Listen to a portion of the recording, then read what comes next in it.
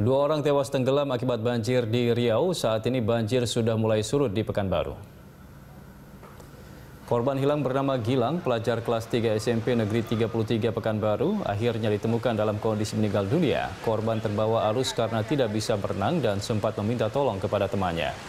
Sementara itu, seorang anak berumur 4 tahun ditemukan meninggal dunia akibat tenggelam. Korban keluar dari rumah sendirian dan terjatuh ke dalam banjir.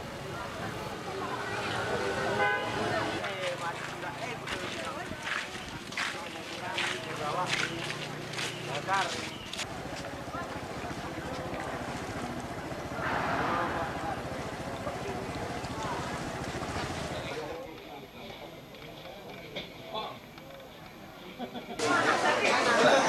udah dicari sama tim SAR sama masyarakat sini.